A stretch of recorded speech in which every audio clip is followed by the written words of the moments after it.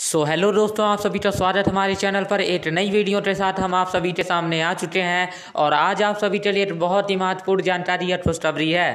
तो दोस्तों, हम चलते अपने मोबाइल की स्क्रीन पर और जानते हैं कौन सा है न्यूज़ या खुशखबरी।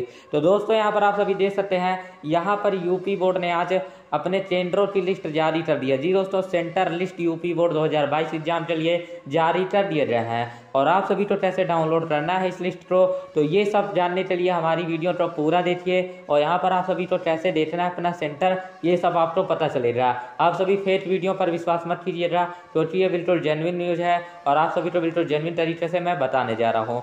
तो दोस्तों, आप सभी यहाँ पर देख सकते हैं, आप सभी के जो बोर्ड एग्ज़ाम्स हैं, वो सभी अप्रैल में होने की संभावना बनी हुई है और साथ ही साथ आप सभी का जो टाइम टेबल है, वो मार्च में आने की पूरी संभावना बनी हुई है। तो इतना मैं बता देता हूँ और अब चलते हैं, कैसे देखना है अपना सेंटर लिस्ट तो U P M S P dot edu dot in जिस पर आपको चले जाना है, ये यूपी बोर्ड का ऑफिशियल वेबसाइट है, जिनको नहीं पता, उनके लिए मैंने बता दिया है। तो आप सभी को यहाँ पर जब पहुँच कर स्ट्रोल डाउन करना है और स्क्रोल डाउन करने पर आप सभी को महत्वपूर्ण सूचना एवं डाउनलोड वाले सेशन में चले जाना है। दोस्तों, आप सभी यहाँ पर देख सकते हैं, सत्ताईस तारीख को जारी किया गया। ये सेंटर लिस्ट है, इसको आपको क्लिक करना है। और क्लिक करने के बाद आप सभी सेंटर लिस्ट के विकल्प पर पहुँच जाएँगे। अब यहाँ पर आपको कुछ नहीं करना। अपना जो जिला है, यानी कि आपका जो डिस्ट्रिक्ट है, उसे सेलेक्ट कर लेना है और उसकी केंद्र सूची आपको देख लेनी है। लेकिन कैसे देखना है, ये सब जानने के लिए पूरी वीडियो में बने रहिए। नहीं तो आप सब